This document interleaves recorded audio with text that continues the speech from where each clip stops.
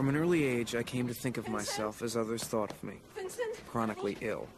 Every skinned knee and runny nose was treated as if it were life threatening.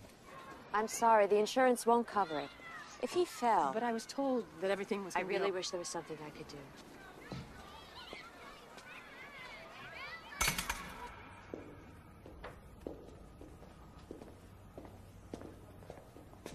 Like most other parents of their day, they were determined that their next child would be brought into the world in what has become the natural way.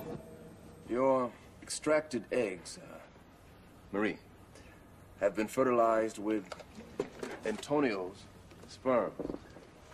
After screening, we are left, as you see, with two healthy boys and two very healthy girls. Naturally, no critical predispositions to any of the major inheritable diseases. All that remains is to select the most compatible candidate. First, we, we may as well decide on gender. Have you given it any thought? Uh, we would want Vincent to have a brother, you know, um, to play with. Of course you would. Hello, Vincent. Uh, you have specified hazel eyes, dark hair, and uh, fair skin. I have taken the liberty of eradicating any potentially prejudicial conditions uh, premature baldness, myopia, alcoholism, and addictive susceptibility, uh, propensity for violence, obesity, etc. We didn't want, I mean, diseases, yes, but uh, Right. We were just wondering if if it's good to just leave a few things to, to chance. You want to give your child the best possible start. Believe me, we have enough imperfection built in already. Your child doesn't need any additional burdens. And keep in mind, this child is still you. Simply the best of you. You could conceive naturally a thousand times and never get such a result. I want to see my parents for the rights to my own body. Would you repeat that, please? I want to see my parents for the rights to my own body.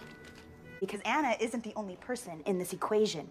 And if we were looking at it only from Anna's situation, sure, it is brutal. I mean, who wants to be stuck and poked and prodded by needles?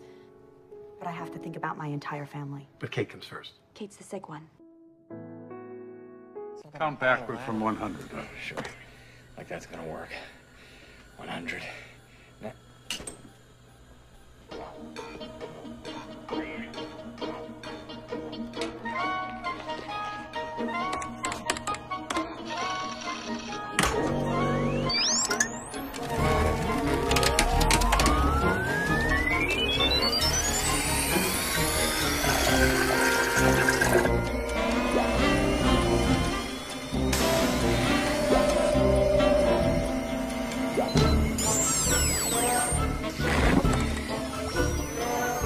は